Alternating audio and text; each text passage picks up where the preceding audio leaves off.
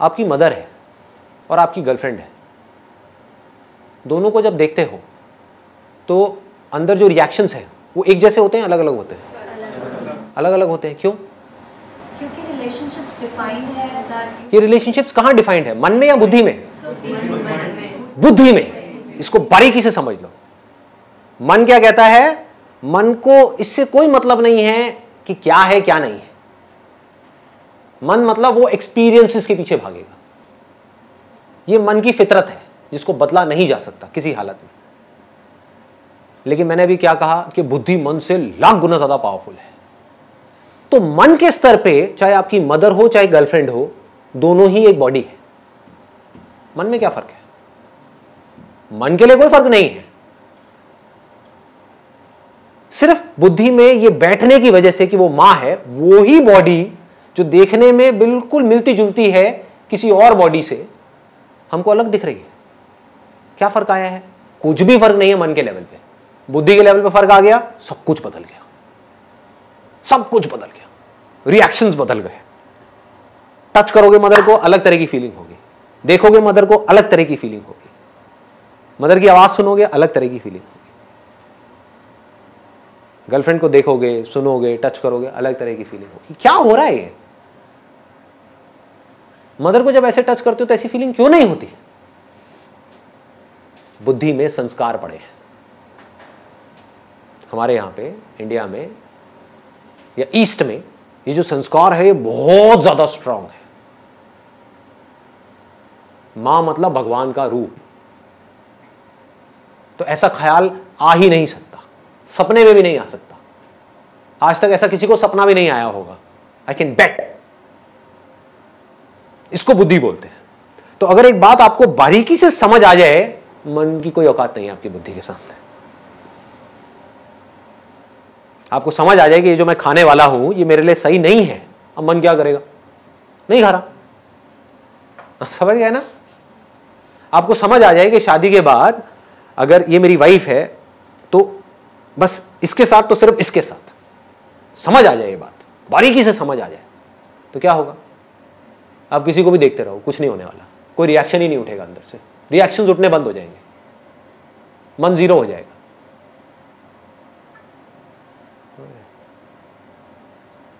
इसको बुद्धि बोलते हैं। आजकल हो क्या रहा है? जिस तरह की दुनिया बन गई है, जिस तरह की मूवीज़ आ रही हैं, जिस तरह की बातें हो रही हैं, किसी को देख करके कुछ भी ख्याल आने लग जाएँगे। अब आप मर गए। आप फंस गए। अब आपको मरने से कोई नहीं बचा सकता। आप समझ गए? अब आपके जो डिसीज़न होंगे लाइफ में, वो किसके बेस पे होंगे? आपकी मन के बेस पे आपकी बुद्धि के बेस पे? और जो भी आदमी अपने मन के बेस पे डिसीजंस लेगा, वो आज नहीं तो कल मरेगा। आपकी वाइफ है आपके घर में, जिसके साथ में आपकी बहुत अच्छी रिलेशनशिप है ऑफ़िस में कोई कलीग है, मन उसकी तरफ़ भाग रहा है। अब क्या करोगे? कैसे रोकोगे इस मन को? मर गए ना? उधर बहुत अच्छी रिलेशनशिप है। अच्छी रिलेशनशिप गई, तेल लेने। इधर मन मन की वजह से मतलब कि कुछ सेकंड्स के प्लेजर के लिए आपने अपनी पूरी ज़िंदगी खराब कर ली। और इस कलीग ने भी आपको लात मारी कैसे जाएगा जो अपनी बीवी का नहीं हो मेरा क्या होगा? खत्म। क्या हुआ? पूरी लाइफ की धज्जियाँ उड़ा दी ना एक सेकंड के अंदर अंदर। किसने उड़ाई? किसी और ने? जो बाहर वो फीमेल थी, उसने? आप ही के अपने मन ने। It has to be absolutely clear absolutely clear कि क्या सही है क्या गलत है। और जब इसको पूरी तरह से आप पकड़ लेते हो अभी एक दिन में नहीं होने वाला। तो अभ्यास अगर हम करते रहे सपोज़ हमारा मन डाइवर्ट हो रहा है लेकिन हम उसे रोक रहे हैं कि नहीं ये सही नहीं है। मतलब हो रहा है अब जो मन में है कुछ तो उसे हो रहा है डाइवर्ट पर जब हम अभ्यास कर रहे हैं कि नहीं करना नहीं करना नहीं करना तो सर यहाँ पे ये यूज़फुल होगा कि हम रोक लेगा अब अभ्यास क्या है इसको ध्यान से समझो। अभ्यास को विवेक भी बोलते हैं। अभ्यास लोग क्या मतलब निकालते हैं?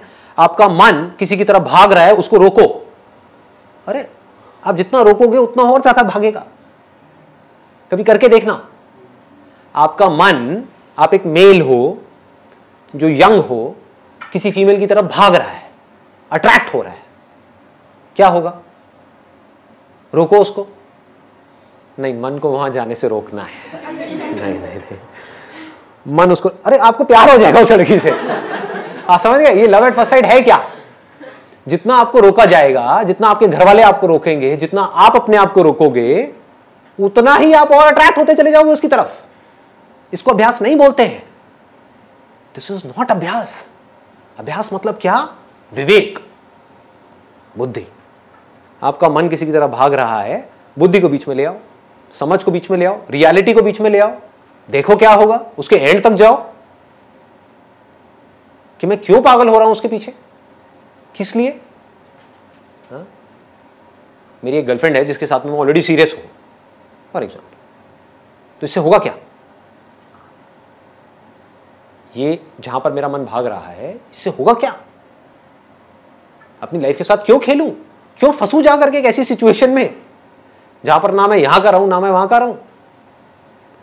समझ पा रहे हो? सिंपल है ना? तो इस बुद्धि के थ्रू आप उस पूरी सिचुएशन को एज इट इज़ देख रहे हो। कि ठीक है, ये हुआ। मन क्या करता है? वो सिर्फ़ अभी के बारे में सोचता है।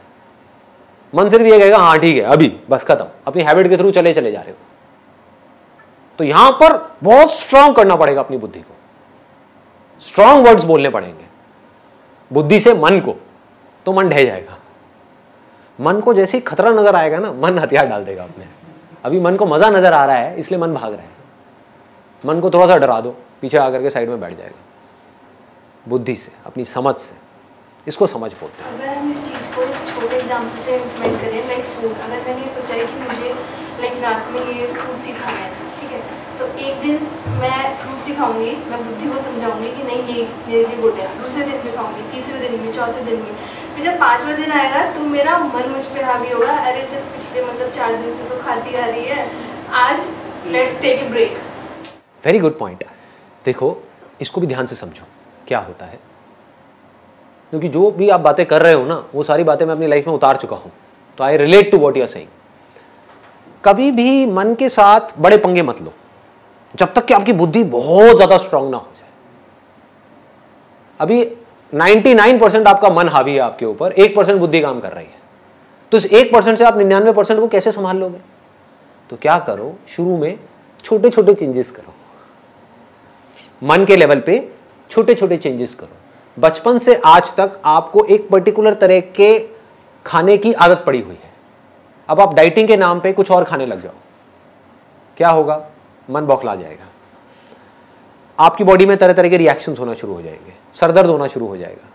अंदर घबराहट होनी शुरू हो जाएगी। आदमी कहेगा, चलो छोड़ो ना यार, करो। जो मन कह रहा है वो करो। खा लो सब कुछ। ऐसा ही होता है? इसका तोड़ क्या है? बुद्धि से आप ये समझो कि ज़रूरी नहीं है कि मेरे को लग रहा है कि रात को फ्रूट्स खाना अच्छा है तो वो मेरे लिए अच्छा हो। अब ये मैं फैक्ट के बेस पे बात कर रहा हूँ। मेरे हिसाब से रात को फ्रूट खाना बहुत गलत है। फ्रूट्स खाने का या कुछ भी मीठा खाने का जो बेस्ट टाइम होता है, वो होता है सुबह उठते ही। उस टाइम पे बॉडी का मेटाबॉलिज्म गिरा हुआ है, उसको उठाना है। अब ये सब बातें मैं कहाँ से कर रहा हूँ? मन के लेवल से, बुद्धि के लेवल से। डाइट का गोल्डन रूल क्या है? Never make major changes in your diet वो ना आपकी बॉडी के लिए अच्छा है, ना आपके माइंड के लिए अच्छा है।